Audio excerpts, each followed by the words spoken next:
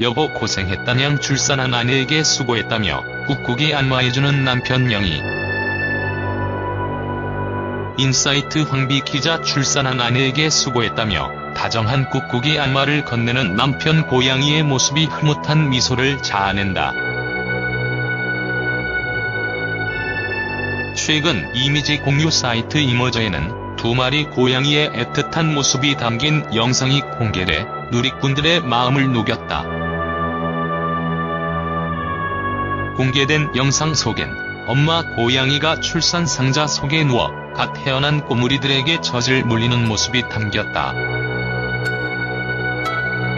지친 듯 누워 있는 엄마 고양이 옆에는 흰색과 노란색이 섞인 아빠 고양이가 자리하고 있다. 아빠 고양이는 지친 엄마 고양이를 보고 마치 정말 수고했어라고 응원하는 듯 조물조물 꾹꾹이를 하기 시작한다. 그 모습이 마치 고생한 아내의 기운을 돋우기 위해 안마를 하는 남편의 모습을 보는 듯하다. 조용히 누워 남편의 안마를 받던 아내 고양이는 덕분에 조금 힘이 난 듯 고개를 들어 아기를 살펴본다. 다정하고 애틋하게 아내에게 안마를 해주는 고양이 커플의 모습에서 가족의 따스함마저 느껴진다.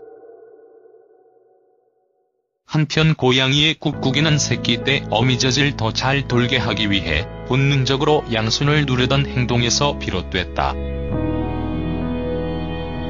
성묘가 되어서도 그 습관이 남아 담요나 푹신한 베개를 보면 꾹꾹이를 한다.